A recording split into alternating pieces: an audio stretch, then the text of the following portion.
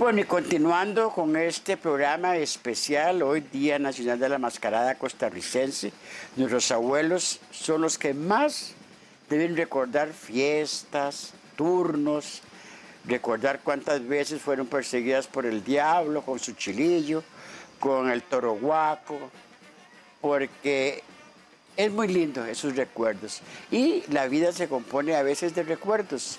Dicen que son tristes, no, hay recuerdos que dan vida. Y entonces se dice, ay, yo quiero vivir más para contarlos más. No. Bueno, hay un refrán que dice que una cosa es verla venir y otra cosa es hablar con ella. Eso lo digo porque se ha hablado mucho sobre la historia de las mascaradas en Costa Rica. Y tienen razón. Y a veces se cometen injusticias, se olvidan, a veces por preferencias, a veces porque es un error, no se acuerdan. Y hay que recordar que la mascarada en Costa Rica, a pesar de que es una herencia desde la colonia, que de España, era una crítica social. La mascarada era una crítica social. Y usted verá que en un desfile de mascaradas, inconscientemente, hay gigantes, hay medianitos, hay máscaras, hay de todo. Eso es una escala. Los gigantes, que es la escala más alta, representaban a las autoridades de esa época. ¿Quién era la giganta? Siempre era llena de argollas, toda pinturriada. Era la, la esposa del jefe político, era la jefe del gobernador en tiempos de la colonia. Y después venían toda la escala de autoridades, encontramos un policía y algo muy cómico de unas mascaradas es que como era diversión, había una relación tan bonita que sobre las mascaradas se ven que el diablo se lleva también con la muerte. ¿Te has fijado? No hay baile de mascaradas si no hay diablo y no hay mascarada. Bueno, para no hacer muy largo el cuento, como decían nuestros abuelos, hoy tengo el gran placer y para mí un orgullo poder conversar con un heredero directo de uno de los grandes promotores de la mascarada costarricense. ¿Quién ha oído hablar de las famosas máscaras de don Pedro Arias Zúñiga? Más de uno. Y los que han escrito la historia de la mascarada en Costa Rica no deben olvidar nunca mencionar a don Pedro Arias Zúñiga. Aquí yo me encuentro en su tallercito y en su casa, por cierto que es una zona rural muy linda del distrito segundo de Escazú, en San Antonio, los filtros que llaman también, aquí tiene su casa y tiene su tallercita. Don Gerardo Montoya Arias, orgullosamente, como decía él, lleva la sangre de su abuelito, don Pedro Arias. Don Gerardo, qué placer conversar con usted encontrarme en este ambiente que también es el mío y tener de fondo su tallercito. Bueno, Nadine, para mí es un placer. Que es una felicidad de saber de que vienen a conocer algo muy lindo que aprendí de mi abuelito Pedro Arias. Algo muy tradicional, muy típico. ¿Por qué? Porque mi abuelito cuando era hace muchos años, que era muy famoso en todo Costa Rica, él hacía las máscaras de verdad, las máscaras naturales, que son de hechas en barro y después terminadas en papel. Eso es lo lindo que tenía mi abuelito. Y, bueno, yo me crié con él y bastante me decía, chiquillo, venga, ayúdeme. ¿Mm? Pero ya como uno es un chiquillo, es un travieso, quiere andar con los demás chiquillos, le da como pereza. ¿Mm? Se iba uno a jugar a, los cercos, a comer jocotes, eh, mango, todo lo que encontraba. Y no jamás, nunca se ponía uno a ayudarle a mi abuelito a empapelar. Eh, resulta que a los años, a los muchos años que ya yo pues me vine de mi abuelito a, vivir con mis papás, ya me hice hombrecito, ya, ya era un mamulón, ya mis papás necesitaban el cariño mío, entonces eh, ya resulta que pues ni por la mente me pasaba a hacer una máscara. No me pasaba ni por la mente hacer una máscara. En ese momento yo entré a trabajar a una institución pública que es la municipalidad y ahí ese puesto mío fue de la montaña. Yo todo feliz en la montaña. Pero, ¿qué fue lo lindo? Que ahí aprendí. Ahí aprendí el arte de mi abuelito, lo aprendí, lo aprendí. ¿En qué momento de su vida le surgió esta idea de decir, voy a hacer máscaras y ojalá que sean bien parecidas como las que hacía abuelo Pedro? ¿En qué? En qué eh, es que ¿cómo le explico? Por eso yo me, me, me, inspiré entre yo mismo. Cuando yo me fui, a, o el amigo me llevó en carro a traer el barro a Huachipelín, yo llegué con el barro a mi casa. Pero viera qué vacilón. Yo ni por la mente me pasaba qué iba a hacer. No sabía ni lo que iba yo a fabricar en esos momentos con mis propias manos. Simplemente que en esos momentos ya mi abuelito me estaba mandando la luz desde el cielo. Qué lástima que no lo tengo por aquí, no lo guardé que es montar un estañón de hierro, ponerle una tabla, poner un vástago y ahí al vástago ponerle unos picos de madera. Y eso me fui aprendiendo yo a, la idea que mi abuelito cuando las hacía. Entonces yo agarré el barro y después comencé a agarrarme con el barro. Agarrarme, ponerlo encima de un estañón y formar una gran pelota grande. Que por cierto, que cuando yo hice ese, la primera máscara, voy a contarle esto, yo me escondí. Yo puse un vástago, eh, un plástico grandísimo y yo me escondí. Yo, yo no quería que nadie me viera. Por si la máscara me salía muy fea, que nadie se diera cuenta. Yo me escondí. Yo no quería que nadie me viera haciendo la máscara.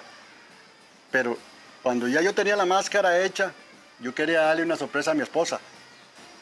En la tarde, cuando ella venía del trabajo. Y cuando ella se bajó del bus, aquí al frente de mi casa, ella se quedó extrañada porque se quedó viendo un plástico y, me escuchaba a mí debajo del plástico. Entonces yo en eso la vi a ella que iba entrando a mi casa y le, dije que la llamé. La llamé, le dije que venga, que viniera un momentico. Entonces ella, mi esposa se sorprendió, se asustó. Porque ¿para qué la estaba yo llamando? Estando yo entre un plástico. Le digo, no, mi amor, venga, venga para que vea lo que hay aquí debajo del plástico. Cuando ella entró y observó la máscara donde estaba encima de un estañón, ella se sorprendió ellas le bajaron las lágrimas. Porque ella me dice, ay Gerardo, me dice, ¿por qué es esto tan bonito que tiene ahí en, ese estañón de hecha en barro? Me dice, usted tiene el mismo arte de su abuelito. Eso fue la primera motivación que mi esposa me dio. Entonces yo seguí. Yo recuerdo que su abuelito, él tenía su propio sello. porque no hay otro mascarero que yo reconociera sino eran los de Pedrito. Y entonces, habían fiestas en Santana, las máscaras de don Pedro Arias. Habían en Heredia, las ahora está Barba y todos, bueno, que también tuvieron su historia. Pero así que lo desarrollara de tal manera como lo hizo don Pedro, solo él. Y hay una cosa que yo no sé si usted está de acuerdo conmigo. Ahora mucha gente se dedica a hacer máscaras. Muy fáciles porque es con fibra de vidrio. Monstruos que no tienen que ver nada con la cultura nuestra yo, por ejemplo, admiro el programa del Chavo del Ocho, pero a mí no me importa que la chilindrina esté en una mascarada nuestra. ¿Por qué no hacer a una Carmencita Granados que, porque esté en una mascarada no significa que sea un irrespeto para ella, es un, más bien un homenaje recordando lo que ella significó para la cultura popular nuestra. ¿Por qué en lugar de hacer el chavo, hacer el, el de los cachetones, ¿por qué no hacen a un olegario que se identificó como el bigotón más alegre de la radio en Costa Rica? Entonces, usted dígame, ¿usted hace personajes así, tipo humano? ¿No le dio por hacer pues, otro tipo de, imágenes en sus máscaras? Es que yo he notado, he notado eh, muchos mascareros, bueno, gracias a Dios que hay bastantes mascareros, que algunos se, llevan por una foto, hacer una imaginación de un, personaje como estamos hablando. Eh, a mí no me gusta. A mí me, a mí me traen una foto para que haga un personaje, no. El personaje tiene que salir de mi propia imaginación. Porque esas máscaras que, que, que están aquí en mi taller son hechas de mi propia imaginación. A mí me da un gozo y por eso las amo, porque yo las hice con mi propio sentido de yo mismo, inclusive que ni, mi, ni, ni de mi abuelito Pedro Arias yo copié, porque mi abuelito tenía otra imaginación para, para hacer sus máscaras. Yo tuve la mía, no las copié de nadie, por eso lo cuento con una alegría y se lo cuento a la gente cuando vienen aquí a mi taller. Por eso me siento tan feliz y la gente me dice, Gerardo, es que de viaje se le ve la alegría suya. ¿Ah? Claro. Entonces, seguiré haciendo alegre. Don Gerardo, ¿usted siente que el apoyo a, ese tipo, a esa diversión como es las mascaradas se ha ido perdiendo o actualmente se está fomentando más? No, se está aumentando, Ah, qué bueno. Sí, muy, porque ahora los niños ya le piden a los papás de regalo una mascareta. Don Gerardo, pues yo permítame felicitarlo porque el entusiasmo que usted tiene es contagioso y eso es lo más importante. Hay que contagiar a la gente. Usted hace un rato me preguntó qué que, se hizo la mascarada de mi abuelito. Claro. Yo le dije a usted que no sé qué se hizo la mascarada de mi abuelito, porque la verdad que me... Pero yo le tengo dicho a mis hijos que esta mascarada que están aquí no me los van a vender por ningún precio. Que nadie vaya a venir con un buen billete y se le quieran comprar esta mascarada, porque yo los vengo a asustar en la noche en Candelilla. me parece bien. No me las van a vender, es máscara para toda la vida, inclusive aquí este taller va a quedar como un museo. Pues, perfecto. Y lo deja por escrito, ¿verdad? Exactamente. Bueno, amigos, ya saben, para el futuro, este va a ser va a seguir siendo un punto de partida turístico. Vamos a hacer en los eh, programas de turismo rural comunitario, que es donde conviene aquí, que el taller de don Gerardo Montoya está a la orden para que ustedes vengan, hablen con él, admiren su trabajo y sepamos conservar, querer.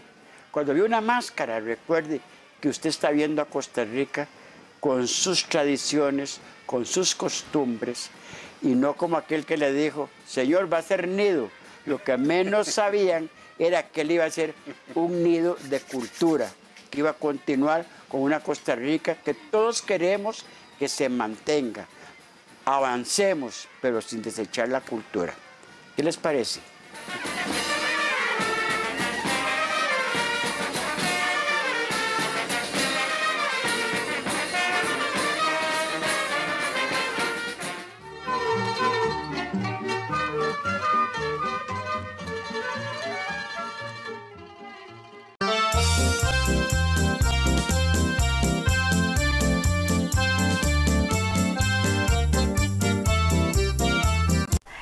Mi nombre es María Julia Gutiérrez, estamos desde Familia Dorada, el programa eh, La Cocina de Agua. Eh, hoy les voy a preparar unas bolitas de banano. Vamos a usar la misma pasta que el otro día les di, que es un 2-4, que es una crema dulce, dos barras de margarina y cuatro tazas de harina. Si queremos le podemos poner adicional una yema de huevo. Eso es, eso es muy... Como esta pasta es este, esta receta va a quedar como suavecita las, las bolitas, entonces yo le adicioné la, la, yema. Vamos, aquí tengo, la hemos puesto en refrigeración. Yo la hice anoche y la dejé en refrigeración para ahora, por eso la tengo en esta bolsita plástica. Eh, vamos a ponerla en, la mesa y le vamos a poner un poquito de, de harina para que no nos cueste porque está, está un poquito húmeda. Entonces para que la, pasta sea más fácil para, extenderla, yo la voy a, le voy a poner esta, esta, esta poquito de harina. La vamos a extender. Ve que ya está muy suavecita.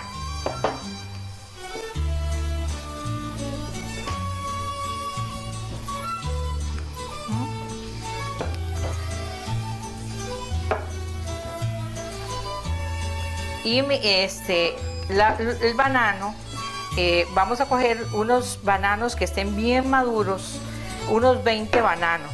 Para la receta que, tengo aquí de, pasta, más o menos nos van a salir entre 30 y 40 bolitas.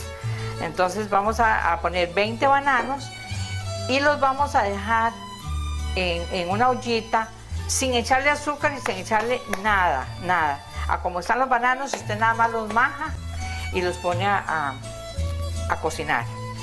Ella le va a quedar al final esta, esta pasta así tan, tan, tan durita.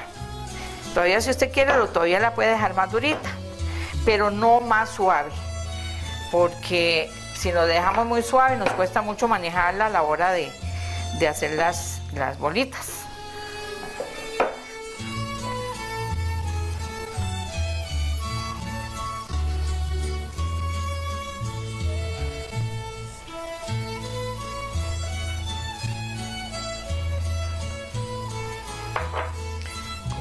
Muchas bolitas.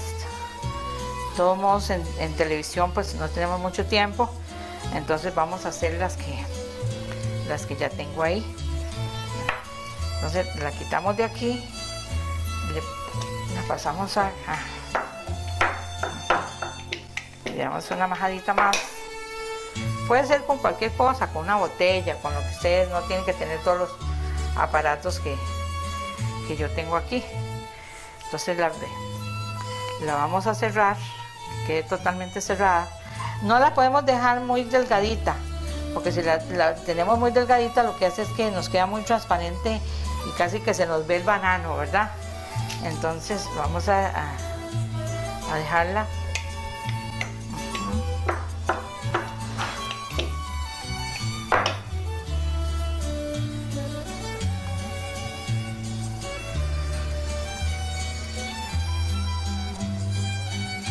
es muy fácil, muy sencillo. Nada más aquí con el, las terminamos de, redondear dándole este, este, esta formita aquí con el, la manita así, cóncava. La vamos a...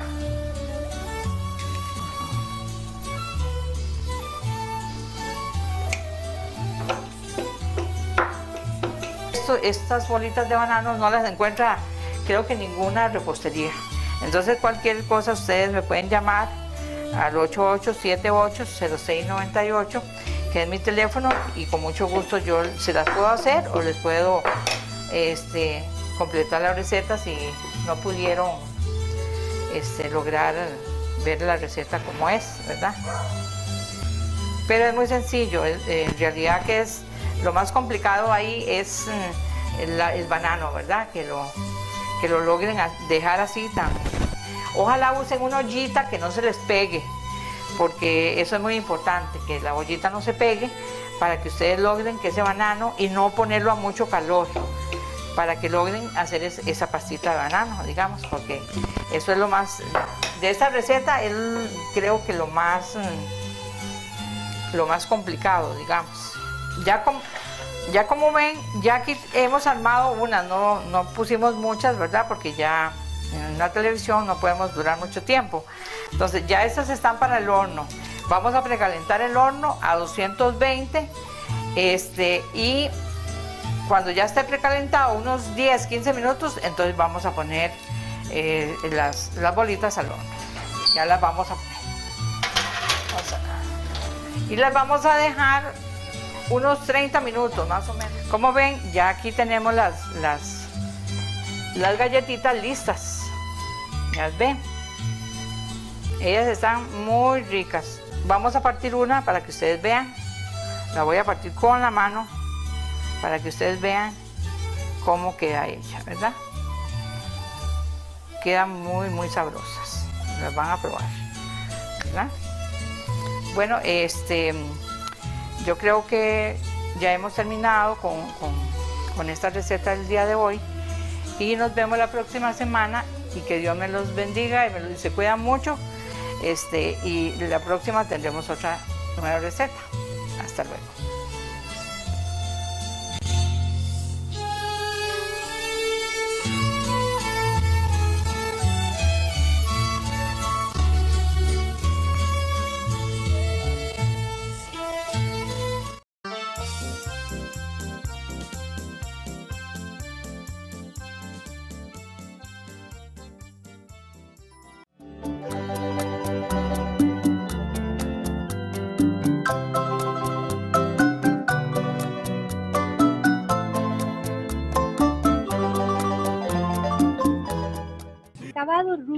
El Cantábrico. Tenemos a su disposición diferentes diseños de enchapes rústicos de cemento coloreado. Los puede usar tanto en interiores como exteriores. Dele a su empresa u hogar un acabado muy distinguido y elegante con nuestros enchapes de gran calidad y duración. Llámenos, que con gusto le hacemos presupuesto sin compromiso. Acabados rústicos El Cantábrico. Elegancia y distinción en todo lugar. Sí, sí, la base pues el mejor. Sí, sí, sí, la base pues lo mejor. traje que por años usó la señora. Lava seco es lo mejor. Mantiene su tersura y no se decolora. Lava seco es lo mejor. Sí, sí, sí. Lava seco es lo mejor. Sí. Con trío Los Selectos podrá hacerlo. Sentimientos que brotan de cuerdas de guitarra, melodías que llegan al corazón. Trío Los Selectos de Cartago, con notas románticas que le llenarán de emoción. Para contrataciones, llame al 70 32 63 48. Trío Los Selectos, melodías de amor que llegan al corazón. Rescatando nuestras tradiciones. La Comisión de Boyeros de Taras de Cartago le invitan del 10 al 12 de noviembre a las siguientes actividades. Taller de pintura de carretas de Cartago, viernes y sábado. El sábado 11 de noviembre, subasta de gallinas. También tendrán chancho encebado. El que agarre el chancho se lo lleva. El domingo habrá piñata para niños, comidas, música en vivo, bailes folclóricos y mucho más. Informes al 84 54 13 72. Los esperamos.